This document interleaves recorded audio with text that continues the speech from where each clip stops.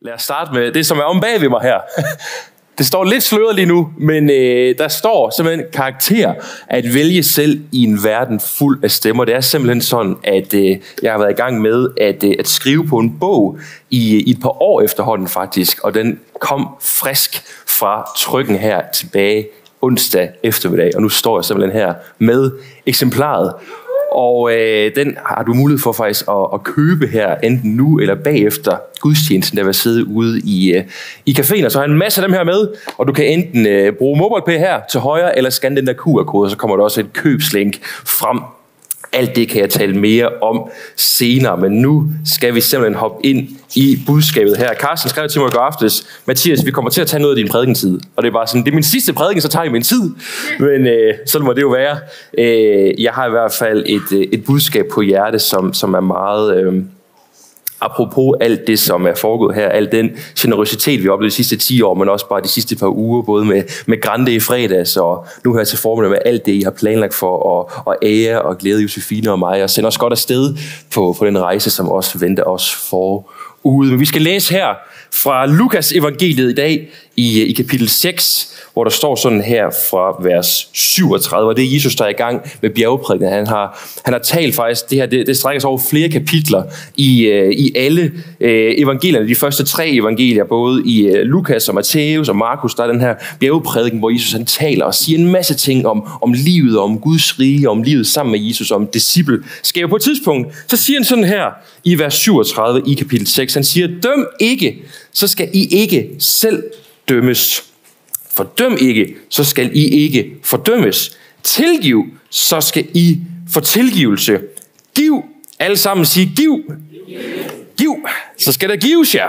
Et godt, presset, rystet, topfyldt mål skal man give jer i favnen. For det mål, I måler med, skal I selv få tilmål med. Og hvis du tager noter i dag, så kan du kalde det her budskab for favnen fuld favnen fuld. Far, tusind tak, fordi du er her lige nu, og tak, fordi du vil tale til os gennem dit ord i dag. Vi er her for at tage imod, vi er her for at blive forvandlet, vi er her for at møde dig, Jesus, den levende Gud, som ønsker at gøre noget i os, også i dag og hver dag resten af vores liv. Det takker vi dig for, Jesus. I dit navn beder vi. Og alle sammen sagde, Amen. Amen. Og amen. Nu nævnte Dan også det her med, at jeg har stået for, for dåb og vores, øh, vores medlemsintro her i kirken de sidste par år. Og øh, man kommer til et punkt, hvor man ligesom, man kan pensum efterhånden til de her medlemsintroduktioner. Og øh, der er nogle ting, hvor man er sådan, det skal vi igennem, for eksempel kirkens vedtægter og forretningsorden. Det er ikke fordi, jeg er helt op at køre med endofiner i kroppen, når vi kommer til det her på gang 20, hvor man ligesom skal præsentere det, og man sidder med den her mellem øh, grov sandwich fra Bogø med kylling kaj, og man kan næsten ikke spise flere af de sandwiches, fordi man har fået dem til alle de her medlemsintroduktioner. Men der er et tidspunkt hver gang, på de her introduktioner, hvor jeg kan mærke, at mit hjerte lige slår lidt hurtigere, hvor jeg kan mærke, at der er en anden begejstring, der bliver ved med at gribe om mig og gøre noget i mig og skabe en taknemmelighed i mig. Det er, når vi kommer til kirkens vision, mission og værdier. Og øh, fræk som jeg er, så sætter jeg altid mig selv på at præsentere det punkt, fordi jeg bare elsker det punkt så meget. Og der er særlig én ting, når man kommer til kirkens værdier, som, øh, som jeg har lyst til at tage udgangspunkt i i dag. Vi har seks værdier her i kirken, og der er en af dem, der lyder sådan her, at vi ønsker at være et frigørende fællesskab med generøsitet som værdi. Jeg læser lige en gang til. Vi ønsker at være et frigørende fællesskab med generøsitet som værdi. Det er lige præcis det, der har været min og Josefines og vores families oplevelse af at være en del af Aalborg Citykirke. Et frigørende fællesskab med generøsitet som værdi. Det er ikke mere end en måneds tid siden, at, øh, at Gurli hun holdt en helt fantastisk prædiken her mors dag, om det her med at, at låne af og til hinanden for at berige hinandens liv, for vi kan være og gøre alt det, som Gud kalder os til at være. Og jeg kunne bare mærke, da man hørte det budskab, det er sådan det er et rigtigt Aalborg Citykirke budskab. Det der, det emmer bare af generøsitet. Det emmer bare af, at vi er her for at frigøre hinanden ved Guds nåde til at være alt det, som man kalder os til at være. Og faktisk også i den her bog, så i, øh, i slutningen af den, der har jeg sådan en sektion, der bare hedder anerkendelse anerkendelser. Og der skriver jeg også sådan her. Tak til Aalborg Citykirke, som jeg fik lov til at være en del af i 10 år, som jeg fik lov til at være en del af. Det har været et kæmpe privilegie. Jeres generøsitet har formet mig til et helt liv. Jeres generøsitet har formet mig til et helt liv. Det er lige præcis det vidnesbyrd, jeg måske vil den først og fremmest tage med herfra. Og have min ungdom, og have mine 20'er i et fællesskab med så mange mennesker, med så mange forbilleder, der uden forbehold bare har givet tid, penge, ressourcer, kærlighed, opmundring, gaver og talenter. Det er forbilledet, der har printet sig så stærkt ind i mig, at det har formet mig til resten af mit liv. Jeg vil ikke være hverken hvor eller hvem jeg er, uden det her sted. Jeres generositet har formet mig til et helt liv. Og det er alt for tidligt at blive rørt, fordi vi er først lige gået i gang.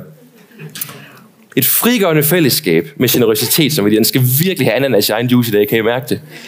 Men øh, noget, der er vigtigt også, når man, når man taler om værdier, når vi taler om kirkens værdier, det er, at vi også forstår, at kultur, det er ikke bare en ting, som kommer af sig selv. Vi kan ikke bare smide det her en sætning op og sige, vi vil være et frigørende fællesskab med generøsitet som værdi, og så står det på en tavle, og så er det sikkert fint nok. Nej, vi bliver nødt til altid at være intentional om, hele tiden at tage et valg om, hvem vi ønsker at være, hvad vi ønsker at stå op for, hvad vi ønsker skal betyde noget, og hvad vi ønsker skal kendetegne os. Vi bliver nødt til at være intentionelle, for lige præcis i det øjeblik, øjeblik, at vores mest generøse dage ligger bag os, så ligger det bedste ikke nødvendigvis foran os.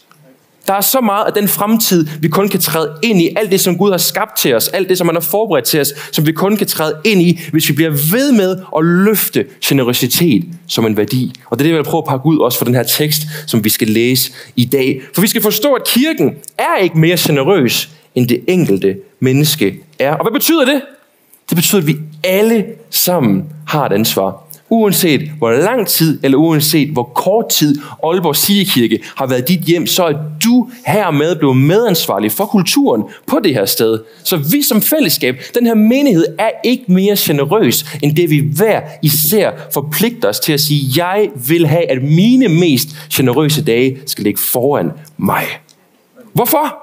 Bare fordi at det er en eller anden trend, at alle organisationer i dag, de skal have en eller anden, øh, et værdisæt på deres hjemmeside, eller fordi vi lige har et meningsråd, der synes, at det kunne være en god idé lige at have nogle værdier, eller fordi det bare lige er en eller anden god idé. Nej, vi er ikke bare generøse, fordi at det er populært.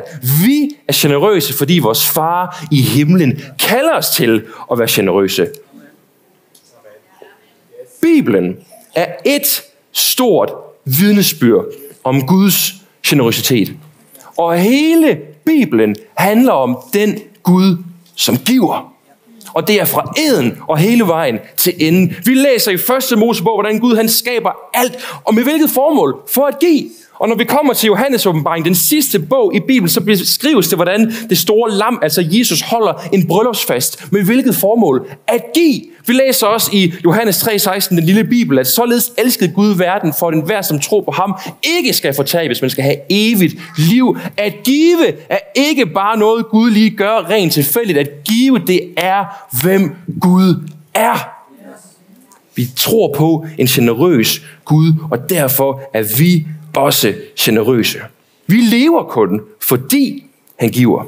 Og lige præcis derfor, så er generøsitet heller ikke bare en eller anden dyd, vi ligesom kan vælge at leve op til, hvis vi lige føler for det. Nej, generøsitet er blevet en del af din og min identitet som sønner og døtre af den almægtige giver.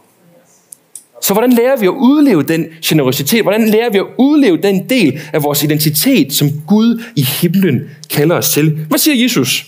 Han siger, giv, så skal der gives jer. Et godt, presset, rystet, topfyldt mål. Jeg er fart. skal man give jer i favnen. Jeg elsker det her vers. Og jeg elsker den vægtlægning, der er i verset. Prøv at læse det her. Der er 19 ord i den her sætning. Der er et ord, der hedder giv, og så kommer der 18 ord bagefter, så skal der gives jer et godt presset, rystet, topfyldt mål, skal man give jer i favn. Det er som om, der er et andet modsætningsforhold, eller størrelsesforhold, vi skal forstå her. Vi er ansvarlige for det første ord, og så tager Jesus ansvar for de næste 18 ord. Og hvad er det ligesom, det prøver at fortælle os? Det prøver at fortælle os, at Jesus i virkeligheden er langt mere interesseret i, hvad han kan få lov til at give til os, end han er fokuseret over, hvor meget vi må kan give til ham. Jesus er den generøse Gud, som er kommet for at give. Og han siger til os i dag, hvis I bare vil give mig en lille finger, så skal I få lov til at se mig give den hele arm. Og det er det vidnesbyrd, der er i Aalborg Citykirke. Det er det, vi ser mod, når vi siger, at vi vil være et frigørende fællesskab med generøsitet som værdi. Vi forstår, at vi kan aldrig nogensinde overhale Jesus i generøsitet. Vi kan aldrig nogensinde overhale ham i vision. Vi kan aldrig nogensinde overhale ham i at velsigne. Det er ham, der udøser. Det er ham, der velsigner. Det er ham, der giver. Det er ham, der formår at gøre langt mere, end vi overhovedet kan bede om eller forstå. Fra ende, fra eden til enden, for altid har det altid været hans natur at give. Fra begyndelsen til enden har han altid været optaget af at give, og fra begyndelsen til enden kan du og jeg altid og i alle forhold stole på hans generøsitet i vores liv. Og lige præcis derfor kan vi ikke leve som afmålte. Jesus siger, for det mål, I måler med, skal I selv få tilmål med. Og hvad det, han siger til os, det er, jo mere afmålt jeg lever, jo mere jeg hele tiden kalkulerer og prøver at holde ting for mig selv, og prøver at holde kortene tæt til kroppen, og prøver at holde det, som jeg måske misforstået tror er min ejendom, i stedet for noget, som Gud egentlig har givet mig at forvalte. I det øjeblik, jeg begynder at leve afmålt, så får jeg mindre og mindre øje på al den åbenbaring, og al den velsignelse, og alle de planer, som Gud rent faktisk ønsker at gøre igennem mit liv. Jo mere jeg er afmålt, jo mindre åbenbaring. For det mål, I måler med, skal I selv få tilmålt med. Men vi bliver frigjorte til generøsitet, når vi opdager en Gud, som altid og hele tiden er på spring efter at få lov til at velsigne mennesker. Og når vi ser, at det er vores far i himlen, når vi ser, at det er den Gud, vi tilhører, en herre, som giver, så forstår vi, at generøsitet, det er ikke noget indbrud i mine ressourcer, men i virkeligheden er det en invitation til at træde ud i den identitet, som Gud har givet mig som sit barn. Jeg er allerede helt tør i halsen. Jeg tager noget af det her. Skål. Så det Jesus prøver at sige til os, det er, at vi lærer ikke Gud at kende, hvis ikke vi først kender ham som en giver. Og vi lærer heller ikke os selv at kende, hvis ikke vi kender Gud som en giver. Og når vi kender Gud som en giver, så kan vi også begynde at lære os selv at kende som giver. Jeg elsker det her løfte om, at vi skal få et godt, presset rystet, topfyldt mål i favnen. Alle sammen sige favnen. Jeg elsker det her udtryk, i favnen. For sandheden om livet er, at der vil være øjeblikke, og måske vil der i virkeligheden være mange øjeblikke, hvor vi oplever, at vi går rundt med tomme hænder. Enten fordi, at, at vi har givet alt, vi havde at give, eller også fordi vi aldrig nogensinde føler, at vi har haft noget at give. Og paradokset lige her, det er, at nogle gange, så må vi have tomme hænder for at opdage, at favnen den er fyldt. Som Markus Holm sagde i søndags, jeg prædiker bedre, end I responderer lige nu. Nogle gange så må vi forstå, det kan godt være, at jeg kommer med tomme hænder, men det er måske lige præcis den indgang, jeg har brug for, for at se, at Gud er i gang med at fylde min favn. Tomme hænder, men fyldt favn. Og det er lige præcis det, jeg tænker på, når jeg tænker på Aalborg City Kirke. En forsamling af mennesker, som på hver vores måde kommer med tomme hænder til Jesus for at lade ham fylde vores favn. Både når vi har givet alt og været generøse, men også når vi ikke føler, at vi har noget som helst at give af. I alle situationer, så manifesterer Guds nåde og forunderlige logik sig i vores liv. Og jeg har set det udspille sig igen og igen og igen på det her sted. Og faktisk i øh, i min bog her, der har jeg et, øh, et vidnesbyrd med fra, øh, fra Merete, som, som en af de unge her i menigheden. Hun kom til Aalborg under corona faktisk i, øh, i 2020. Og jeg synes bare, at hendes historie er et så godt eksempel på, hvordan jeg oplever, hvordan jeg har set igen og igen, at Gud han tager mennesker, som kommer måske med tomme hænder og fylder deres favn. Og jeg sad og skrev den her bog, øh, færdiggjorde den faktisk helt tilbage i, i januar måned, og øh, imens jeg sidder og skriver på et kapitel, der også handler om generøsitet, om at, I ved, øh, de fem brød, de to fisk, hvordan når vi bringer det, vi har til Gud, og så vil han gøre noget med det, som er langt større, end vi overhovedet kan forstå. Så kommer jeg til at tænke på et vidnesbyrd, Merete på et tidspunkt havde delt. Og så beder jeg hende om, at jeg spørger, kunne du tænke dig at være med i en bog? Hvem har ikke lyst til det? Så hun sagde, jo, men det vil jeg gerne. Øh, og hun beskriver selv sit vidnesbyrd, og det har jeg så fået, og jeg får lov til at udgive det også i, øh, i bogen her, og jeg har også fået lov til faktisk at læse det op her på gudstjenesten i dag. Så vil I høre det? Øh, Tejt, du må faktisk gerne komme op igen her, og så går der ikke lang tid, inden vi skal til at bede for hinanden. Men Merete, hun skriver sådan her, og det er, det er lidt langt, men jeg kunne simpelthen ikke finde ud af at fjerne noget som helst, fordi det hele det er bare så godt. Men I skal ikke længere tilbage nu, I skal virkelig længe jer frem, imens I hører, hvordan Guds nåde virker i menneskers liv. Hun skriver sådan her, det er så vildt, hvad mennesker kan gøre i ens liv, især hvis det er de rigtige mennesker. Mennesker, der hjælper dig til at se dine evner og potentiale. Mennesker, der spreder glæde og håb over dit liv. Mennesker, der i fællesskab er med til at løfte hinanden som flok. Sådan et fællesskab tror jeg lidt, jeg manglede i starten af 2020. Jeg boede på det her tidspunkt hjemme med mine forældre, og var i færd med 3.G. Jeg havde en tæt kreds af fantastiske veninder, men indeni følte jeg mig egentlig alene og tom. Jeg havde denne periode det rigtig svært med mig selv, mine evner og mine tanker. 3.G var ved at nå sin ende, og min fremtid stod for døren. En fremtid, som jeg ikke anede, hvad skulle indebære. Jeg havde længere tid fået gravet mig ned i et hul, hvor alting føltes mørkt. Jeg gik stadig i kirke hver søndag, men mest for at vise mit ansigt og få god samvittighed med mig selv. Jeg var en passiv kirkegænger. Hvilket jeg faktisk er taknemmelig for i dag, for et alternativ kunne have været fravalg af Gud og kirken. Et alternativ, som nok havde ændret alt ved fremtiden. Jeg gik på derværende tidspunkt i en del måneder uden helt at finde glæde eller mening med livet. I marts 2020 rammer corona, som for mange var et vendepunkt. Det var det også for mig, men på en anderledes måde. Det er lidt som om, at jeg en dag vågnede op med et nyt liv.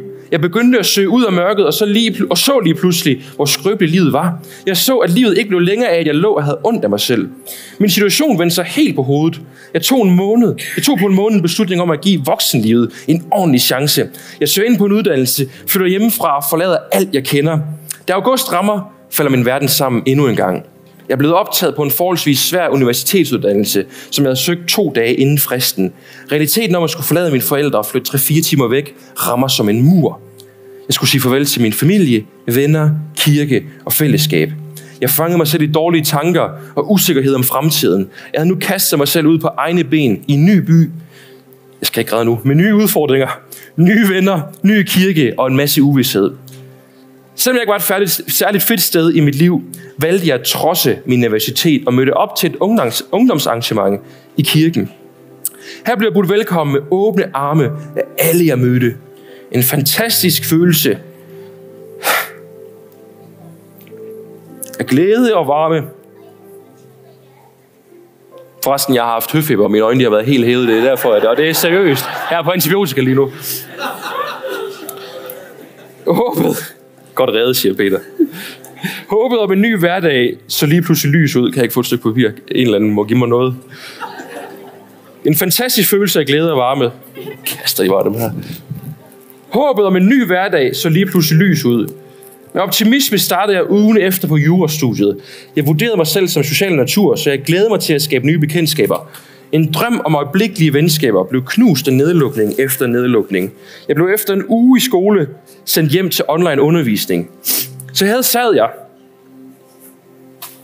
og følte mig så alene i verden.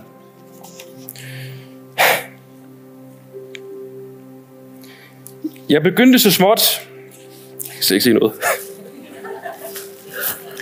at grave ind i mig selv igen. Jeg begyndte at gennemtænke hver eneste tanke, Burde jeg bare være blevet tilbage i Varde? Skal jeg droppe ud og flytte hjem? Vil mine forældre være skuffet ved at blive skuffet? Og mit spring ud i verden forgæves? Hvad er min mening med dette liv? Jeg gik ofte selv med disse tanker. Det var i disse svære tider, at Gud og ungdomsfællesskabet var mit lys i mørket. Jeg voksede sygt meget, det med hendes egen ord det her, sygt meget i denne periode, med hvem Gud er for mig. Jeg har altid lidt følt, at min tro kom igennem min fars tro. Men nu er jeg pludselig ansvarlig for min egen personlige tro. En tro, som hurtigt begyndte at vokse, i det jeg lagde al min tilgængelige tid i fordybelse og bøn. Jeg fulgte med i ungdomsgudstjeneste online og var med i en super skøn gruppe. Generelt begyndte mit humør at ændre sig, men alligevel var jeg ikke helt glad. Studiet, savnet og mørket fyldte rigtig meget mit liv og tanker, når der ikke var gudstjeneste eller ungdomskirke. Et tomrum, jeg længes efter at få fyldt op med noget mere meningsfyldt. Det er først, da en leder i min ungdomskirke oplyser noget potentiale i mig, at jeg begynder at føle mig mere tilpas. Jeg elskede kirken og dens fællesskab i forvejen, men i det øjeblik, jeg fik lov til at give min tid, energi og evner til at hjælpe og opløfte, så jeg kirken blive til min tryghed, fred og mit hjem. Jeg så mit liv forandre sig til det bedre. Jeg så min hverdag blive fyldt af fokus på Gud. Jeg så, at mine tanker ændrede retning mod den lyse side. Jo mere jeg kunne bidrage til fællesskabet, jo gladere blev jeg. Jeg har i mange år været helt blind over for det potentiale, der gemte sig i mig. Jeg var blind over for den person, jeg kunne blive. Men med opmuntring for ledere, præster og venner tændte ilden i mig. Jeg begyndte at føle mig hjemme i tjenesten, selvom det startede simpelt. Med underholdning til ungdomskirke sultede jeg efter mere. Jeg længtes efter at tjene mennesker om en Gud.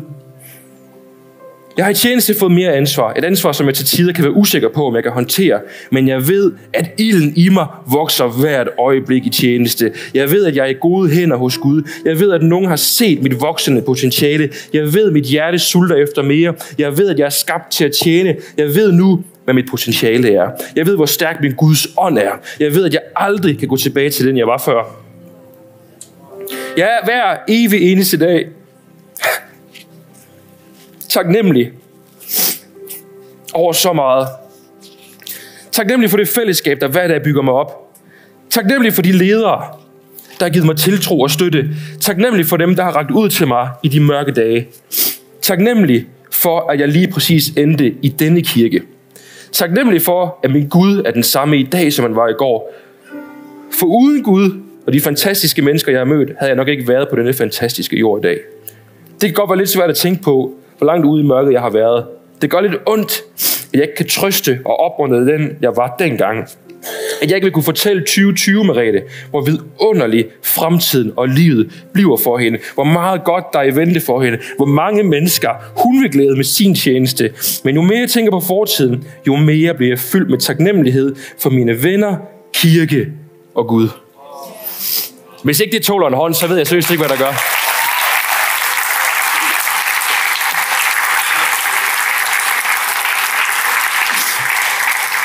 Du bliver nødt til at købe den her bog.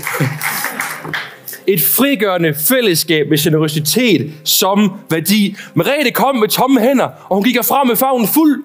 Og venner, der er flere tjenester, der venter på at blive rejst op. Der er flere kald, der venter på at blive forløst. Der er flere gaver, der venter på at blive givet. Der er flere munde, der venter på at blive mættet. Der er flere opmundinger, der venter på at blive udtalt. Der er flere ressourcer, der venter på at blive investeret. Der er mere fremtid, der venter på at blive indtaget. Fordi vores mest generøse dage, de ligger ikke bag os. Vi vil fortsætte med at være et frigørende fællesskab med generøsitet som værdi. Ikke fordi vi gør det i egen syg, men fordi vi ved, vi tilhører en generøs Gud, som bliver ved med at give, og bliver ved med at give, og bliver ved med at give. Så Gud, her kommer vi med tomme hænder, men med favnen fuld. Vi er ikke bare her for at spille vores tid, vi er her for at investere det liv, du har givet os at forvalte. Vi er ikke bare her for at spille vores penge, vi er her for at investere de ressourcer, du har givet os at forvalte. Vi er ikke bare her for at spille vores talenter, vi er her for at investere alt det, som du har givet os at forvalte i dit navn, Jesus.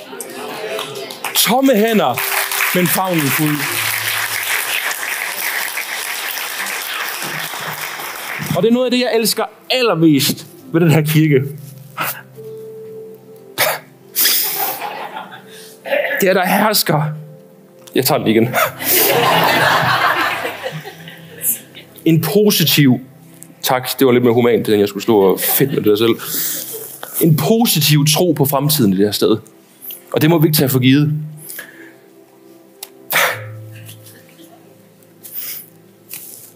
Og lige præcis på grund af det her,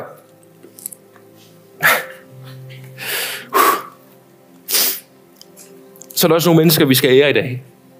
Og det er ikke dem, som bare smutter. Det er dem, som bliver. Og det er dem, som er blevet. Og den, vi skal sige det her. vi skal sige det her dig også i dag. Og øhm, jeg ved, I kom til en kirke for 17 år siden, hvor der havde været splittelse, og kirken var måske så lidt tilbage og lidt ud af spillet, i hvert fald for en tid. Og jeg har set billeder fra nogle af de gudstjenester.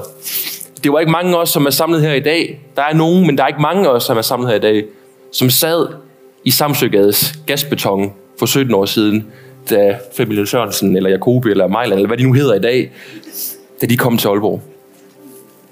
Men Dan, du havde bare en positiv tro på fremtiden. Og det bliver jeg bare nødt til at ære dig for. Tak fordi, at jeg og vi og Ung Kirke kan vokse op i en menighed i skyggen af den tro på fremtiden. Det kan vi virkelig ikke tage for givet. En ting er, at man tror, man har en smart ungdomspræst med lidt tatoveringer og en masse forskellige tøjkriser. Men at have en seniorpræst, som tror på det bedste i fremtiden, som tror på, at vi skal give det bedste til de næste, det er nøglen til, at ung kirke, ikke bare mens jeg er ungdomspræst, men helt tilbage fra Simon Jacobsen og også før det, er et sted, hvor unge trives og elsker at være. Og det er også grunden til, at det vil fortsætte med at være nice. Ikke fordi, at, at vi os selv unge, vi har den oprør, men fordi der er en hel menighed, der tror på de unge. Og den tak, fordi du har skabt den kultur. Tak, fordi du er en generøs leder, der altid går den ekstra mil for din, dit præsteteam og for hele menigheden. I skulle bare vide alle de ting, den laver i løbet af en uge, som vi andre overhovedet ikke opdager. Han har egentlig været på overlov i tre måneder, og så kommer jeg tilbage på kontoret i dag efter at have været syg, så er du ryddet op på hele kontoret. Det er et andet, der har været i gang. Han går altid rundt i kulissen og er opmærksom på, hvad vi har brug for, hvad præsteteamet har brug for. Og du har os det her over, at du er en skaffer. Du elsker at opdage, hvilke behov vi har, og så giver du det til os. Og du arbejder for os i kulissen. Og Carsten, jeg vil også sige tak til dig. Du har også været på præsteteamet al den tid, jeg har været her. Og øh, jeg kender også kun dig som en generøs leder. Og alle de samtaler, vi har haft, du starter altid, uanset hvad dagsordenen er, så kigger du mig i øjnene og siger du, Nå, Mathias, hvordan har du det? Og selvom jeg måske svarer med tre ord, og du bare sidder, mm, så føler du har set lige igennem mig. Du har set hele mit liv, al min søn, alle mine sejre, det hele. En senior hyrde. Og øh, noget andet, der er sjovt, og en af grundene til, at jeg også ved, at du er en af mine store forbilleder, det er, at jeg er begyndt at grine ligesom dig. Der går ikke en uge, hvor Josefine ikke siger til mig, ej Mathias, du griner ligesom Karsten nu. Og det er sådan det der høje grin op i falset. Jeg har aldrig grint sådan før, indtil Karsten kom ind i mit liv. Så tusind tak for det, Karsten. Jeg vil også sige tak til menighedsrådet der har været ukulige og ufravigelige i deres støtte og opbakning til mig. Uanset hvem der har siddet der, lige fra vi begyndte, og lige indtil nu har vi kun mærket fuld opbakning. Også når det har været svært, når der har været kriser, når man har flyttet til at kaste håndklæde i ringen, har vi kun oplevet menighedsråd, der har bakket fuldt op, og det har gjort mig 10 cm højere. Hver gang jeg har lige har hørt et eller andet fra menighedsrådet om, at vi står med dig, og vi bakker op, og vi tror på alt det, som dig, Josefine, er gang i, så har der været mod til at fortsætte. Og der er særligt to personer også fra menighedsrådet, jeg gerne vil takke, og det er dig, Steffen Ørstrøm. Jeg ved ikke, om du er her i dag. Han sidder der og vinker, som var i menighedsrådet, der jeg begyndte som ungdomspræst, og var min første referenceperson. Den måde, du greb mig på, da jeg begyndte, det var grunden til, at jeg kunne fortsætte. Hvis ikke det var for Steffen, så var jeg givet op allerede efter et år. Men den måde, du ligesom fik mig til at lande i tjeneste og kirke, og det ansvar, der også kan være samtidig med, at man læser en, øh, en fuldtidsuddannelse, var afgørende for, at jeg kom til at trives og efterfølgende Erik her, som har været min øh, referenceperson i anden halvleg. Jeg elsker, når man møder dig, Erik. Hvor sidder du hen? Følg, jeg kigger på dig. Alle legenderne, de sidder bare herovre. Øh, ej, det gør de ikke, de sidder over det hele. Når du kigger på mig og siger, der har vi den stærke kriger, så ved jeg bare, i dag bliver en god dag. Og nogen har spurgt mig, om øh, min bog ikke skal indtales som lydbog. Jeg sådan, hvis den skal det, så skal det være Erik, der indtaler den, for han har altså Danmarks bedste stemme. Prøv at overveje. Karakterer. At vælge selv i en verden fuld af stepper. Erik, det må du love mig, hvis du vil give mig en afskedsgave.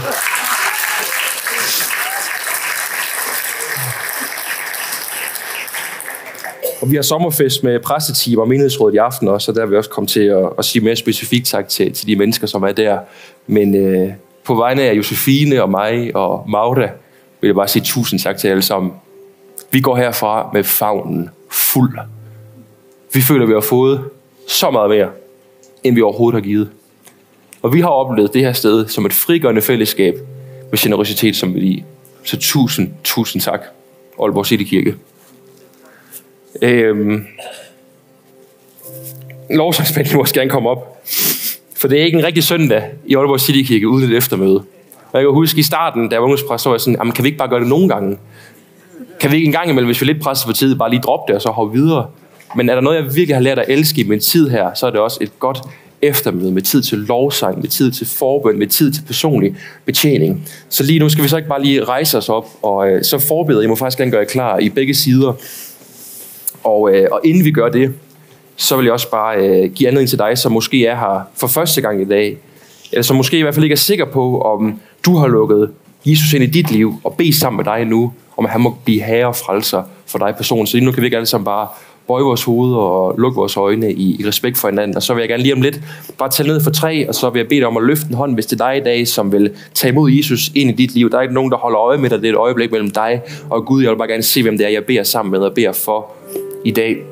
Og tre, du skal vide, at Jesus han elsker dig, og han er for dig personligt. der er noget nok. Og to, der er ingenting i din fortid, der kan skille dig fra den fremtid, som han kalder dig til. Og et, hvis det er dig i dag, som vil tage imod Jesus, vil du så ikke bare løfte din hånd her, hvor du står lige nu. Jeg ser din hånd. Fantastisk. Gud velsigne dig. Gud velsigne dig. Det kan også være, du sidder med på livestream lige nu, og, og sidder derhjemme og tager den her beslutning i dag, og så vil jeg også bede for dig. Hele Aalborg City kan vi så ikke bare gentage den her bøn efter mig, som vi beder nu. Kære Jesus, tak for din kærlighed til mig. Du kom til den her jord for at leve det liv, som jeg burde have levet. Og dø den død, som jeg fortjente. Men du opstod igen til nyt liv og retfærdighed for mig. Og fra i dag af er jeg Guds barn. Og fra i dag af er du min herre. Jeg vil følge dig hver dag resten af mit liv. Far, tak for de mennesker, som har taget den her beslutning om, at du skal være herre i deres liv i dag. Tak fordi du, Helligånd, du flytter ind i deres hjerter lige nu, og du vil åbenbare din kærlighed for dem. De skal få lov til at opleve din kærlighed, din fred, din vilje for deres liv, og du vil være med dem hver dag resten af deres liv. De skal gå i gode, forberedte gerninger tilrettelagt af dig, Jesus, vores gode herre. Vi elsker dig, vi priser dig. I dit navn beder vi, og alle sammen sagde, skal vi ikke give en kæmpe hånd til de mennesker, som har taget den beslutning i dag? Det er det største overhovedet. Forbederne, de er klar allerede her. Der står forbedere både på den her side og på den her side, og så skal vi lovsynge sammen nu, og det kan være, at det her budskab er talt til dig i dag. Det kan også være, at du kommer ind med et helt andet behov, men brug det her øjeblik nu til at gå frem og bede sammen med nogen her. Vi er her for at betjene dig, og husk, at vi tror på, og vi tjener en generøs Gud, som ønsker at give og virke også lige præcis i dit liv. Så lad, lad det være grundlaget, som du går til forbøn til i dag. Gud vil sige jer alle sammen. Amen.